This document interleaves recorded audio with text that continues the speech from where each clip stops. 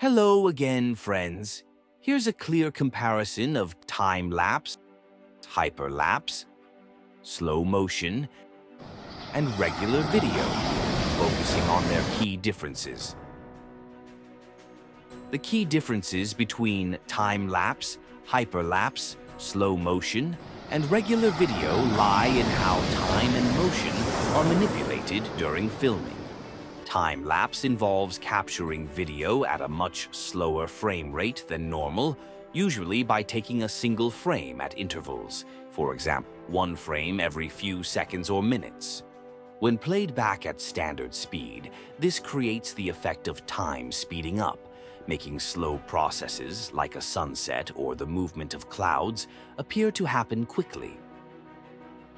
Hyperlapse is a variation of time-lapse, but with the added element of camera movement. In this technique, the camera is moved over a distance, for example, walking or driving, while still capturing frames at a slower rate. This results in a dynamic, accelerated effect of time passing, while the camera travels through space, creating a sense of movement and speed along with the time compression.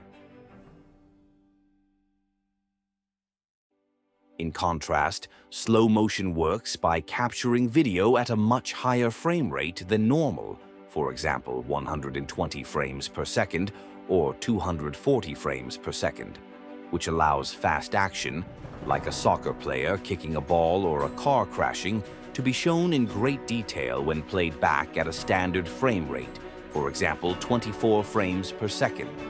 This technique makes time appear to slow down, revealing fine details that are too quick to see in real time.